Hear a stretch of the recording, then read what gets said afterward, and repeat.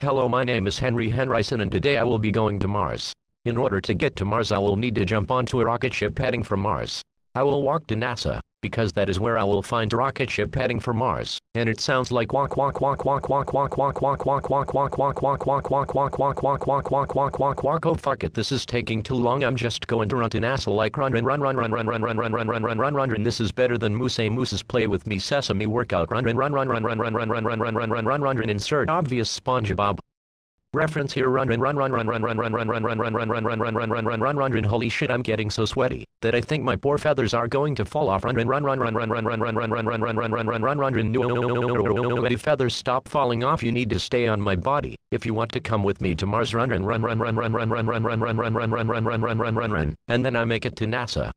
I tried to climb my way onto the rocket ship but all that running made me really tired and forget how to climb, so I pull out one of my Mrs. Paul's fish sticks and I eat like eating sums etc. Yes, yes, they're even better when you're near rocket ship.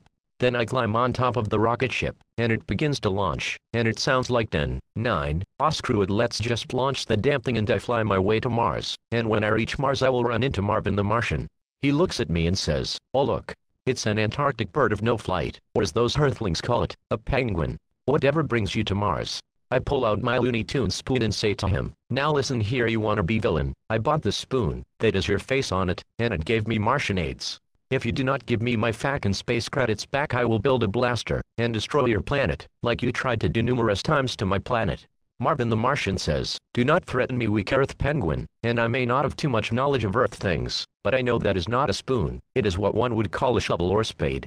Get some education flightless bird. Alright. I said. If that's the way you want it.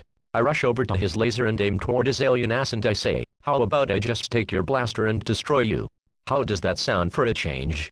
Marvin says, don't touch that, I hit the fire button, while saying touch asterisk, and I fire the blaster at Marvin turning his ass into ash. Oh bother, he said, the one time I perfect my own weapon and someone had to use it on me. I throw the spoon on the ground so it breaks.